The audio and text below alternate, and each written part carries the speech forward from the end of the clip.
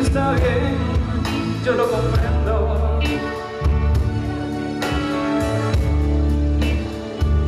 Te deseo que seas feliz, pero te voy a advertir que si vuelves otra vez